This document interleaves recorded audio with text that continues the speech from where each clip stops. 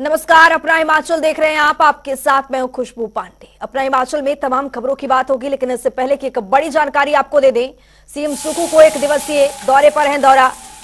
तो आपको बता दें कि सीएम का दौरा ये काफ़ी अहम है, कई बड़ी योजनाओं का उद्घाटन करेंगे मुख्यमंत्री सुखविंदर सिंह सुखू बाढ़ प्रभावितों को आर्थिक राहत की यहाँ पर भेंट करेंगे। स्कूली छात्रों को लैपटॉप भी वितरित किएँगे उना में सीएम का जोरदार स्वागत किया गया है। ये बड़ी जानकारी आपको दे रहे हैं। सबसे बड़े सौर ऊर्जा प्लांट का भी यहाँ पर निरीक्षण किया है। सीएम के स्वागत में शहर को बैनर झंडों से यहाँ पर सजाया गया है। ये बड़ी जानकारी उना से आपको दे रहे हैं। सीएम ने दूसरी बार यहाँ पर उना के दौरे पर है मुख्यमंत्री सुखविंदर सिंह सुखू। यहाँ पर आज कई परियोजनाओं का यहाँ पर सौगात देंगे। उना वासियों को ये बड़ी जानकारी आपको दे रहे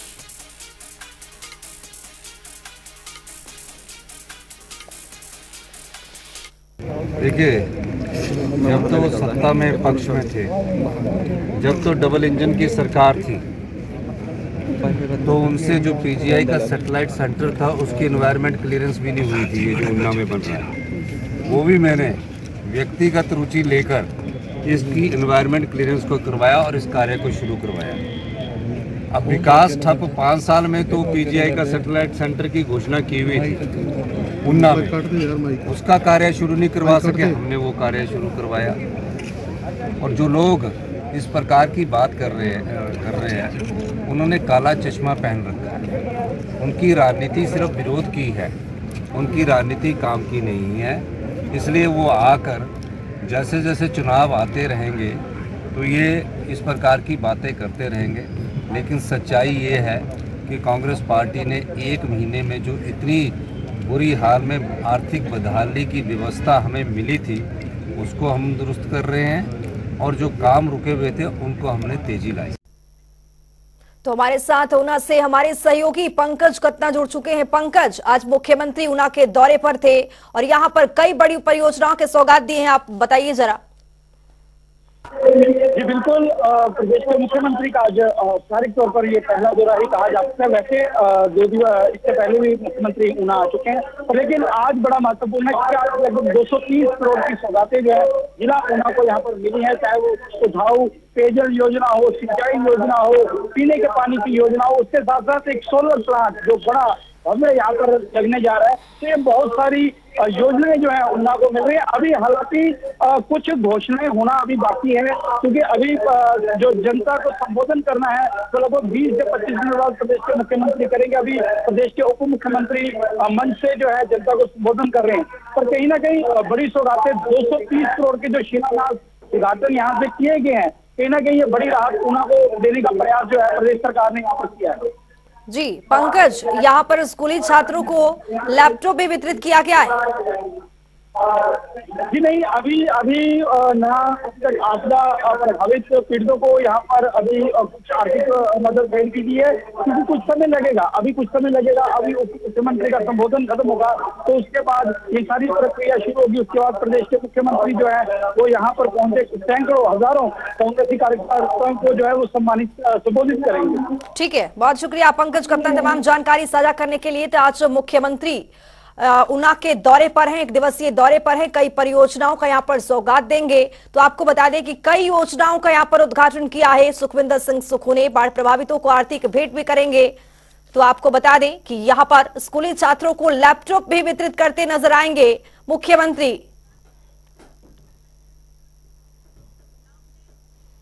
एक और बड़ी जानकारी से आपको अपडेट करवाएँगे। धर्मशाला से ये बड़ी जानकारी आ रही है। धर्मशाला में मेयर, डिप्टी मेयर के जो चुनाव है, वो होने वाले हैं। दो ढाई बजे शुरू होगी वोटिंग प्रक्रिया। बीजेपी कांग्रेस के कार्यकर्ता पहुँचे हैं। कार्यालय के बाहर अगर सर्वसम्मति नहीं बनी तो बैलेट पेपर पर करवाया जाएगा मतदान। ये बड़ी जानकारी आपको दे रहे तो ढाई बजे शुरू होगी वोटिंग प्रक्रिया। धर्मशाला से ये बड़ी जानकारी आपको दे रहे कार्यकर्ता कार्यालय पहुँच चुके हैं। आपको बता दें कि यहाँ पर लगातार सर्वसम्मति नहीं बनी। अगर तो यहाँ पर दो बैलेट पेपर पर मतदान करवाया जाएगा। ये धर्मशाला से आपको बड़ी जानकारी दे रहे हैं। बड़ा अपडेट आपके सामने है। तो वहीं धर्मशाला को आज मिलेगा मेयर और डिप्टी मेयर। चुनाव में दोनों पार्टियों की जो तैयारी है, यहाँ पर शुरू हो चुकी है। धर्मशाला में मीटिंग का जो दौर है, वो जारी है। तो ये धर्मशाला से आपको बड़ी जानकारी दे रहे हैं। ढाई बजे शुरू होगी वोटिंग प्रक्रिया। कार्यकर्ता पहुँच चुके हैं कार्यालय के बाहर। अगर सर्वसम्मति नहीं बनी तो आपको बता दें कि यहाँ पर दो बैलेट पेपर पर मतदान करवाया जाएगा। धर्मशाला में मेयर, डिप्टी मेयर के आज चुनाव होने वाले हैं। करीब ढाई बजे ये चुनाव शुरू होगी। धर्मशाला को आज मेयर और डिप्टी मेयर मिल सकता है। चुनाव में दोनों पार्टियों की जो तैयारी है, वो तेज हो गई है।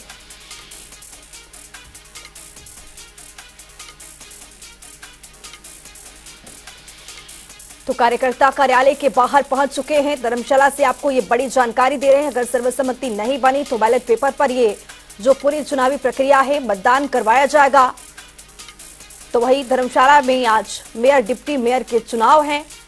चुनाव को लेकर यहाँ पर जो तैयारी है, दोनों पार्टियों की ओर से यहाँ पर तेज हो गई है।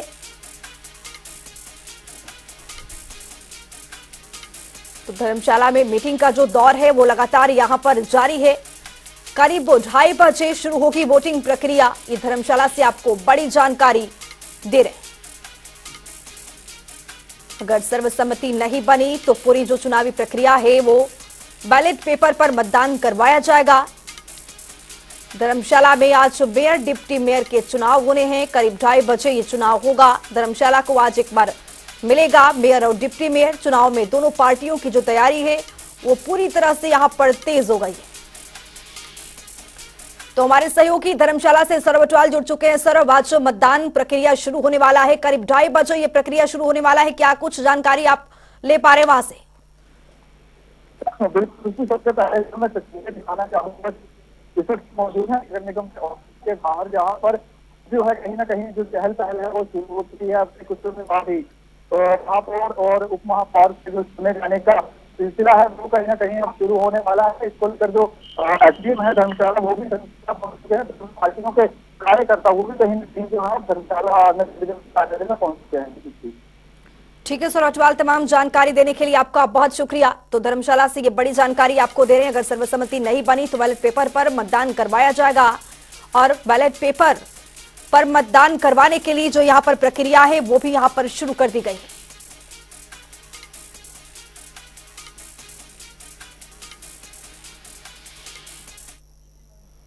तो एक और बड़ी जानकारी आपको देंगे। राजधानी शिमला से ये बड़ी जानकारी आ रही है। रिटायर्ड आईएएस अक्षय सूद बने हैं एडवाइजर ये बड़ी जानकारी आपको दे रहे हैं। सुखू सरकार ने लगाया है एडवाइजर प्रदेश सरकार में निभाएँगे फाइनेंस की भूमिका।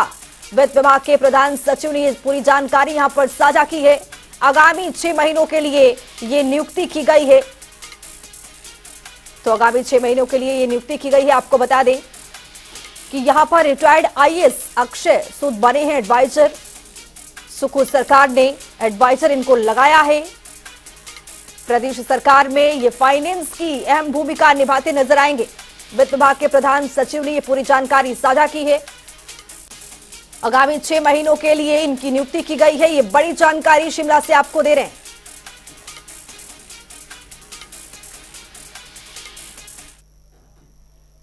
आरटीओ विभाग ने सोलन ने कंडाघाट सब डिवीज़न के लिए 18 ई रिक्शा परमिट को मंजूरी दी है। जल्दी आम जनता को ई रिक्शा की सुविधा मिलने वाली है।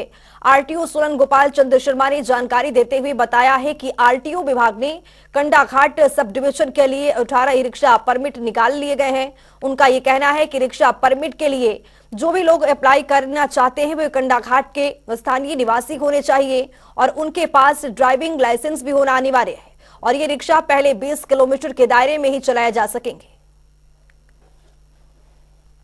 हमने हमने अभी कंडघाट सब डिवीज़न के लिए 18 ई रिक्शा परमिट इशू किए हैं।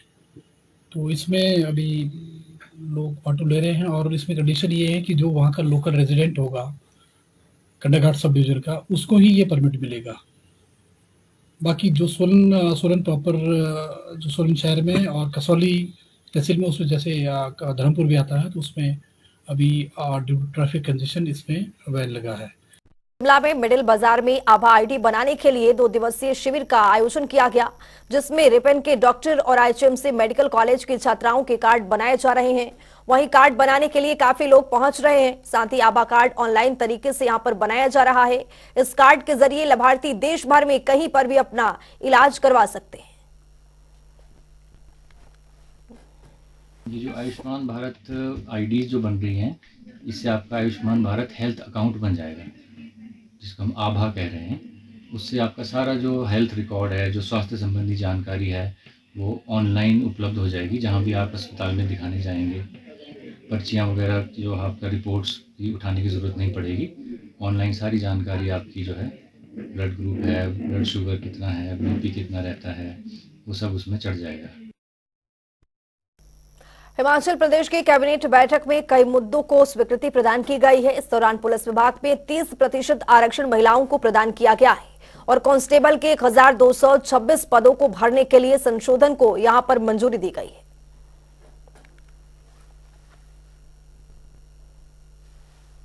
हमारी कैबिनेट की मीटिंग जो है, माननीय मुख्यमंत्री ठाकुर सुखविंदर सिंह सुखू के नेतृत्व में आज जो है हुई है। और इसमें काफ़ी जो है आज अहम फैसले लिए गए हैं, जिसमें जो हमारा स्वर्ण जयंती जो पॉलिसी है हाइड्रो पावर को लेकर, इसमें जो है संशोधन किया गया है।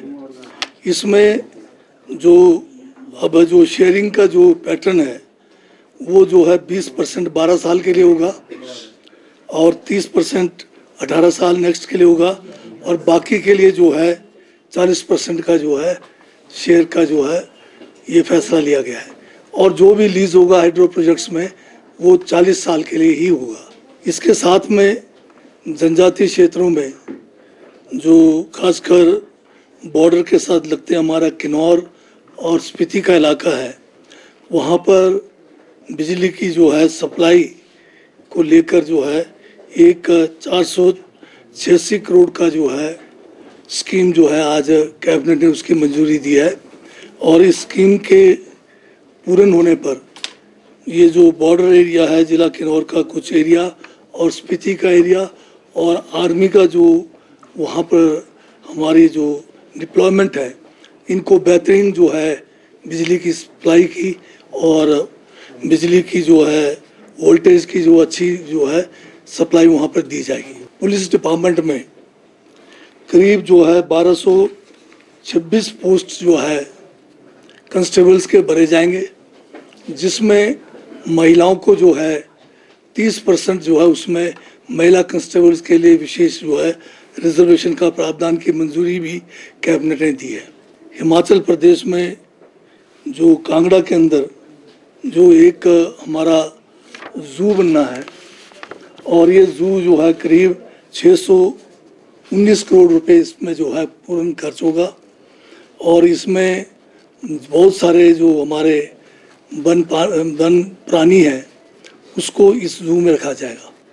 और इस जू का बनाने का उद्देश्य यह है कि वहाँ पर जो हमारा टूरिज़्म का कैपिटल हम जिसको घोषित किया है, धर्मशाला का, और इस इलाके में, निचले क्षेत्र में टूरिज़्म को बढ़ावा देने के लिए ये जू का जो है निर्माण की मंजूरी इसके बजट के प्रावधान के लिए कैबिनेट ने दी है। तो सीधे आपको ले चलते ऊना जहाँ पर मुख्यमंत्री सुखविंदर सिंह सुखू ऊनावासियों को संबोधित कर रहे हैं। जिस बेटी या बेटे ने अपने पिता और माता को खो दिया है अगर वो मेडिकल कॉलेज में सिलेक्ट होता है उसकी मेडिकल कॉलेज की फ़ीस भी और हॉस्टल की फ़ीस भी सरकार देगी।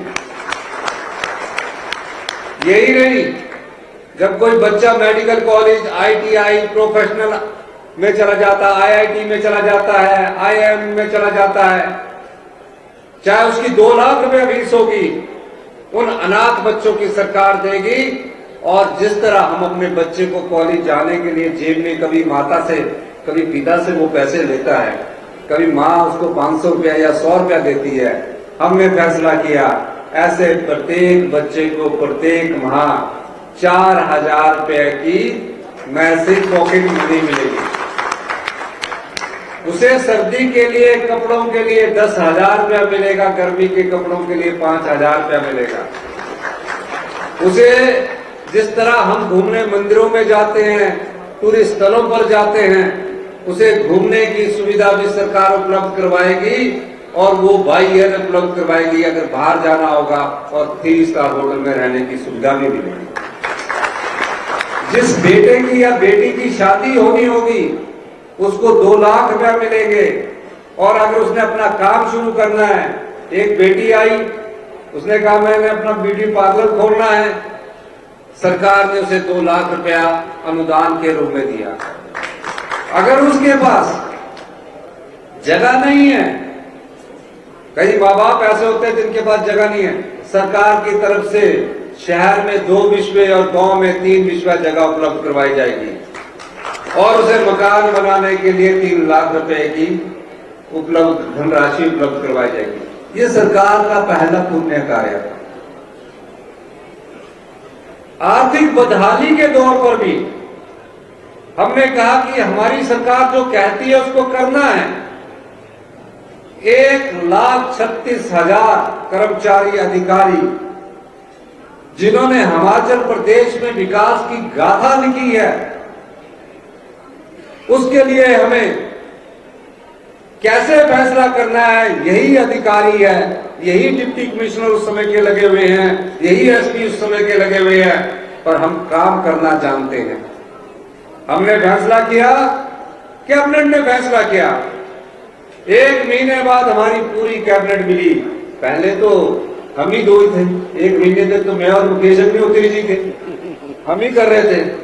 और हमने एक लाख छत्तीस हज़ार कर्मचारियों का, बुढ़ापे का, ये दृष्टिकोण अपनाते हुए कि ये मानवीय दृष्टिकोण होना चाहिए, क्योंकि मैं भी खुद एक कर्मचारी का बेटा हूँ। हमने उन्हें ओल्ड पेंशन स्कीम दी। अभी 11 महीने हुए हैं। और मैं ये कहना चाहता हूँ, मैं दावे के साथ कह सकता हूँ कि जो पिछली पाँच साल सरकार थी, उसने जनता को ठगा है। अब इनके जो सांसद भी आ रहे हैं, वो भी जनता को ठग रहे हैं। हमने तो कर दिया। हमारी दूसरी गारंटी दी। प्रत्येक विधानसभा में चार स्कूल हम इंग्लिश मीडियम के बनाएँगे।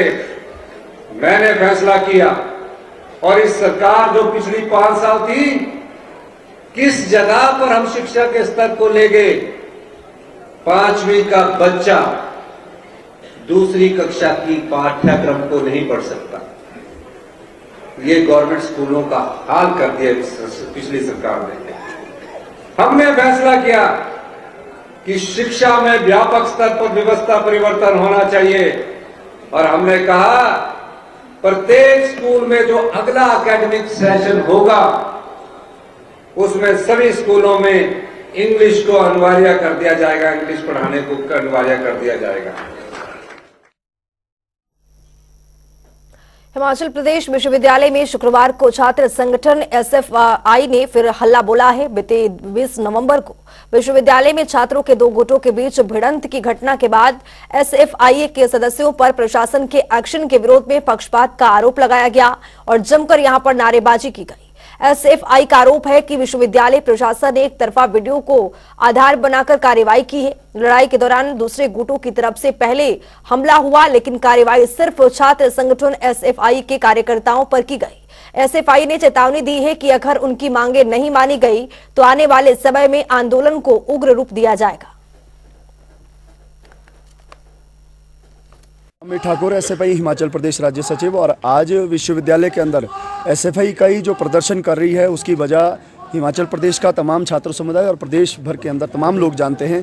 इस विश्वविद्यालय के अंदर पिछले 20 तारीख को एक जो हिंसा हुई थी, उस हिंसा को किस तरीके से सुनियोजित रूप से उसको एक राजनीतिक रूप दिया गया, क्योंकि विश्वविद्यालय के अंदर उससे पहले एसएफआई एक आंदोलन कर रही है, जो आप जानते हैं राष्ट्रीय शिक्षा नीति हिमाचल प्रदेश के अंदर जब कांग्रेस की सरकार के द्वारा लागू की गई और उसके बाद यहाँ पर जो फर्जी भर्तियाँ विश्वविद्यालय के अंदर हुई थी, उन भर्तियों को लेकर लगातार हम मांग कर रहे थे कि सरकार बदलने पर हम मुख्यमंत्री साहब, शिक्षा मंत्री सभी से मिले कि उन भर्तियों की जाँच की जानी चाहिए। आरटीआई के माध्यम से हमारे पास सारी इन्फॉर्मेशन थी कि उसके अंदर लगभग 80 परसेंट जो भर्तियाँ हैं, वो गैरकानूनी रूप से हुई है, जिसमें फर्जी दस्तावेज़ जो है शामिल किए गए हैं तो उसकी एक जाँच होनी चाहिए। लेकिन सरकार पूरा एक साल बीत जाने के बाद भी उसको लेकर ना तो जाँच करने को तैयार है, ना ही राष्ट्रीय शिक्षा नीति को लेकर वो जो है उसको वापस लेने की जो बात राष्ट्रीय स्तर पर कांग्रेस कर रही है। आपने देखा होगा राष्ट्रीय स्तर पर अलग अलग राज्यों के अंदर भी और दिल्ली के अंदर भी कांग्रेस जो है राष्ट्रीय शिक्षा नीति का विरोध कर रही है। लेकिन हिमाचल प्रदेश के अंदर यही कांग्रेस उस राष्ट्रीय शिक्षा नीति को लागू कर रही है। इसके अलावा छात्र संघ चुनाव का मुद्दा था,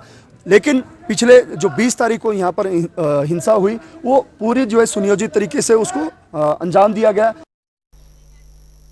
चंबा में बीते कल ऊपरी पहाड़ों पर बर्फबारी हुई है, जिसके बाद निचली क्षेत्रों में ठंड का प्रकोप काफ़ी बढ़ गया है। हालाँकि तापमान में भी काफ़ी गिरावट दर्ज की गई है। वहीं चंबा के कई पहाड़ों पर बर्फ़ की सफ़ेद चादर देखने को मिल रही है। बर्फ़ की सफ़ेद चादर ने पहाड़ों को अपनी चपेट में ले लिया है। वहीं आज धूप खिलने से लोग धूप का काफ़ी आनंद ले रहे हैं। फ़िलहाल निचली क्षेत्रों के लोगों को बर्फबारी का इंतज़ार है कि आने वाले समय में बर्फबारी होगी। जिला चंबा के ऊंचाई वाले क्षेत्रों में बर्फबारी होने से तापमान में काफ़ी गिरावट दर्ज की गई है। हालाँकि निचली क्षेत्रों में बर्फीली हवाओं के साथ ठंड का प्रकोप काफ़ी बढ़ गया है। अभी हम जिला चंबा के तहत आने वाले उपमंडल मुख्यालय तीसा में मौजूद हैं और तीसा के साथ लगते साचपास के पहाड़ों की अभी हम आपको तस्वीरें दिखाएँगे। साचपास के पहाड़ों पर साफ़ तौर पर देख सकते हैं कि काफ़ी भारी मात्रा में बर्फ़ की सफ़ेद चादर देखने को मिल रही है। काफ़ी भारी मात्रा में साचपास में बर्फबारी हुई है। ऐसे में इसके साथ लगते जो गाँव हैं, उन गाँव में बर्फीली हवाओं के साथ कड़ाके की ठंड पड़ना शुरू हो गई है। हालाँकि लोगों की बात करें तो लोगों ने गर्म वस्त्र पहनना शुरू कर दिए हैं और लोगों ने कंबल और रजाई का सहारा लेना भी शुरू कर दिया है। जिला में अगर आज मौसम की बात करें तो आज जिला में मौसम जो है वो पूरी तरह से साफ़ है, परंतु जो पहाड़ों पर बर्फबारी हुई है, इससे बर्फीली हवाएँ निचली क्षेत्रों में भी आ रही है, जिससे कि तापमान में भी काफ़ी गिरावट दर्ज की गई है। फ़िलहाल मौसम पूरी तरह से साफ़ है और पहाड़ों पर बर्फ़ की सफ़ेद चादर साफ़ तौर पर देखने को मिल रही है। देखते रहिए जनता टीवी के लिए चंबा से मोहम्मद आशिक की रिपोर्ट। सीएम का तीन गारंटियाँ पूरी करने के बयान पर बीजेपी के प्रदेश अध्यक्ष डॉक्टर राजीव बिंदल ने जुबानी हमला बोला है। उन्होंने कहा है कि मुख्यमंत्री का बयान बेहद हास्यास्पद है, जिसमें उन्होंने कहा है कि मौजूदा सरकार ने जो 10 गारंटियाँ प्रदेश की जनता से की थी, उनमें से तीन गारंटियाँ सरकार ने पूरी कर ली है। साथ ही राजीव बिंदल ने कहा है कि मुख्यमंत्री का कहना है कि सरकार ने ओपीएस लागू करने रोज़गार देने और महिलाओं को एक पंद्रह देने का फ़ायदा पूरा किया है, जो बिल्कुल तथ्यों के विपरीत है। मुख्यमंत्री श्री सुखविंदर सिंह सुक्खू जी का यह कथन कि हमने तीन गारंटियाँ पूरी की हैं। यह पूरी तरह से हास्यास्पद है। 2022 का चुनाव बहुत पुराना चुनाव नहीं है। हिमाचल प्रदेश के हर व्यक्ति के हाथ में एंड्रॉयड मोबाइल है और उसके अंदर माननीय मुख्यमंत्री जी उप मुख्यमंत्री जी, कांग्रेस के बड़े बड़े नेता, सबके भाषण रिकॉर्डेड हैं और बड़े ज़ोर ज़ोर से इन्होंने कहा, पहली कैबिनेट आएगी, एक लाख बेरोजगारों को हम सरकारी नौकरी देंगे। श्रीमती प्रियंका जी ने कहा, सतासठ हज़ार पद खाली हैं और तैतीस हज़ार पद और सृजित करेंगे, एक लाख नौकरियाँ देंगे। और उनके शब्दों को मुकेश जी ने और वर्तमान मुख्यमंत्री जी ने सभी ने रिट्रीट किया। आज हम आपके माध्यम से पूछना चाहते हैं, कहाँ है वो एक लाख नौकरियाँ? आप कहते हैं हमने गारंटी पूरी कर दी कहाँ है नौकरी? दस हज़ार बेरोजगार जो और छोटी मोटी नौकरी में सरकार में लगे हुए थे, उनको आपने नौकरियों से निकाल दिया। अपना हिमाचल में मेरे साथ इतना ही। नमस्कार।